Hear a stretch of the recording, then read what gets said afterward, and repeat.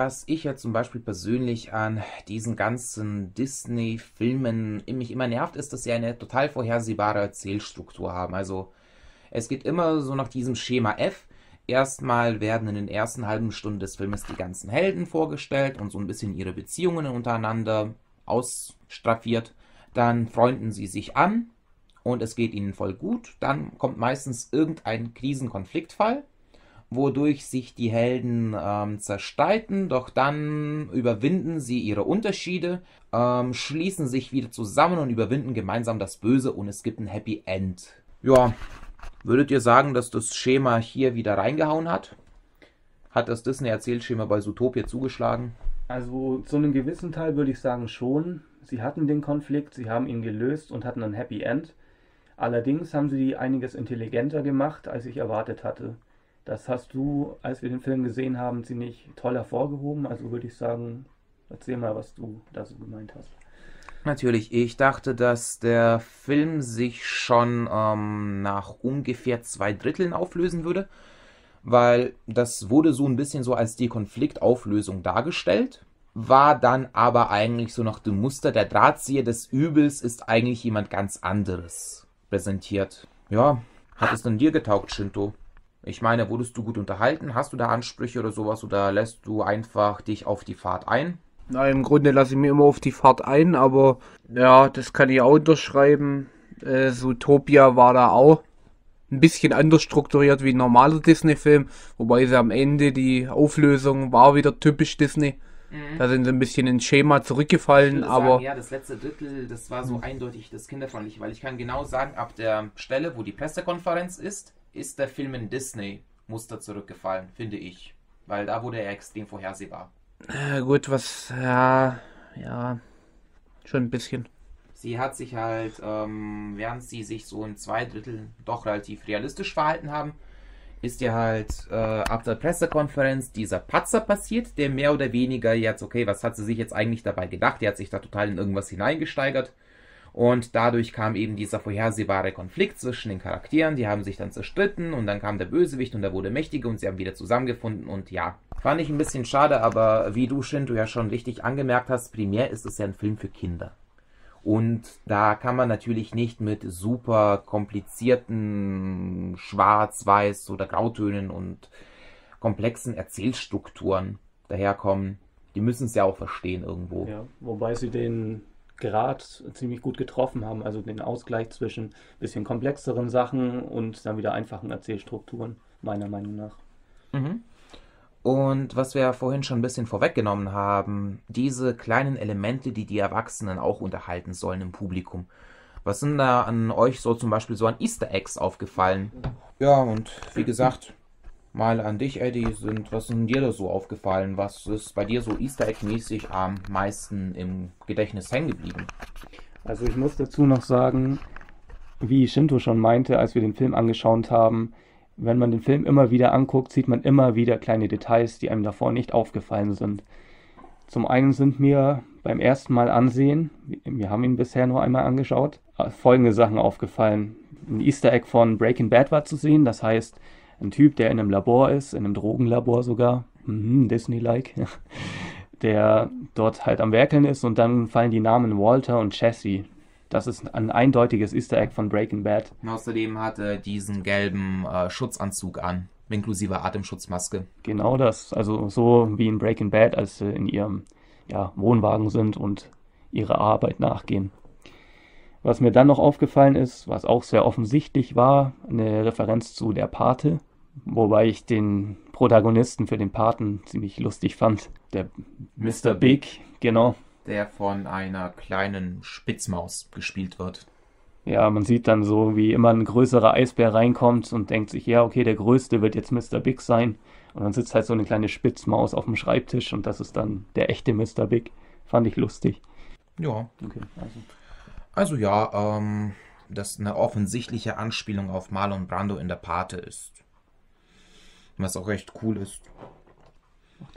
Oder auch zum Beispiel, dass es da eine Dialogzeile gibt, die sehr offensichtlich auf Frozen anspielt.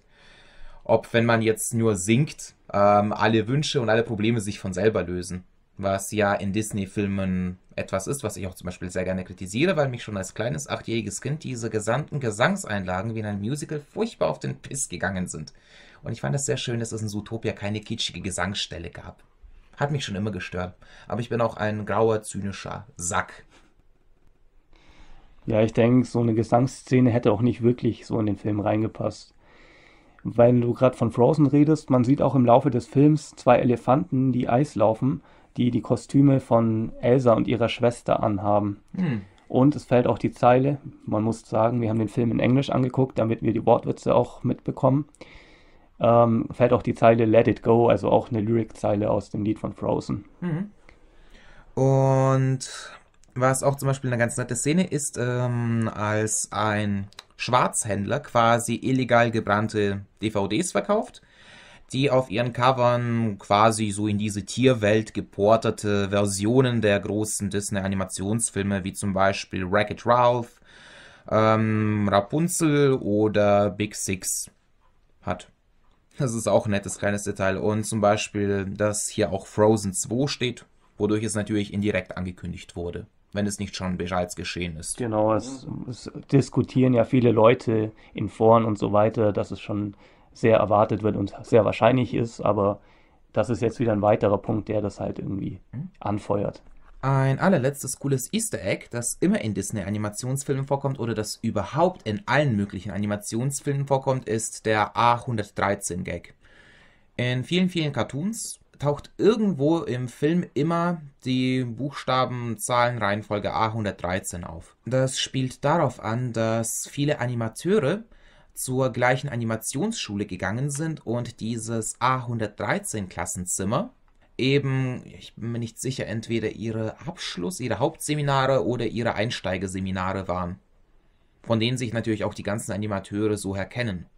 Und ja, dieses A113 hat natürlich auch seinen Weg in Zootopia gefunden, wo es auf dem Nummernschild des Fuchses Gideon ist, der dann später einen Sinneswandel durchlebt hat. Aber um zum Schluss zu kommen. Gut, ähm, Easter Eggs hin und her, wir können da stundenlang drüber reden. Vielleicht noch ein, zwei Sachen, die ich noch sage. Ihr könnt ja gerne in die Kommentare auch noch schreiben, wenn euch was aufgefallen ist. Zum einen ähm, existieren sehr viele Verschwörungstheorien, ja, tatsächlich Verschwörungstheorien über den Film, da zum einen die Zahl 6 sehr oft vorkommt, da zum anderen die Bösewichte einen Widder auf ihrem T-Shirt haben, was ein Zeichen von Baphomet sein soll und der Zahl 666, also the number of the beast. Du hattest ja heute echt Spaß, die ganzen Verschwörungstheorien zu lesen. Ach ja, da hatte ich wirklich Spaß. Aber teilweise richtig absurd, was da alles dabei stand. Ich möchte jetzt nicht noch näher drauf eingehen. Guckt es euch an, ihr findet es bestimmt auf Google oder sonst irgendwo. Ähm, ja. Ansonsten ist hier jetzt aber die Frage, wir hatten ja mit Erwartungshaltungen angefangen und ich würde sagen, man sollte das mit einem Gesamtfazit zu Ende bringen. Da gehe ich mal mit gutem Beispiel voran, muss sagen, ja, da ich eher mittlere Erwartungen hatte, hatte der Film sie doch klar übertroffen. Ich meine, ich hätte mir gewünscht, dass das letzte Drittel nicht so gehinkt hätte, erzähltechnisch, aber mei, man kann nicht alles haben. Ich würde auf jeden Fall die Fortsetzung davon gerne ansehen. Ja, ich habe ja vorhin schon gesagt, ich habe versucht, neutral an den Film ranzugehen, obwohl ich halt die Erwartungshaltung hatte, dass es einfach ja, ein weiterer Disney-Film ist. Und muss sagen, ja, ich war eigentlich gut unterhalten, muss man sagen. Hatte viel zu lachen und es waren auch einige tolle Plot-Twists dabei, wie beispielsweise mit der Blume dann am Schluss und mit den Bären. Ja, also ich freue mich auch auf den zweiten Teil und denke auch, dass der auf jeden Fall rauskommen soll und wird. Was ich noch sagen möchte ist, alter Schwede, die Grafik. Ich hatte am Schluss wirklich Augenschmerzen von diesen Ultra-HD-Farben und so weiter. Da muss ich echt ein Lob an Disney rausbringen. Die machen richtig gute Qualität. Ja, da kann ich mir den zwei nur anschließen. Meine Erwartungshaltung war natürlich ein bisschen höher, aber nichtsdestotrotz haben sie es voll erfüllt, wenn nicht gar übertroffen. Und ja, ich freue mich auf den zweiten, wenn er denn kommen soll, ein paar Jährchen. Das war es jedenfalls zum Film. Wir sind auf knapp eine halbe Stunde gekommen. Wir bedanken uns bei euch fürs Zuhören. Wenn euch das gefallen hat, gebt uns ein Like, abonniert uns und es verabschieden sich euer Jackie, Eddie und Shinto. Ciao, ciao. Ciao. Adios.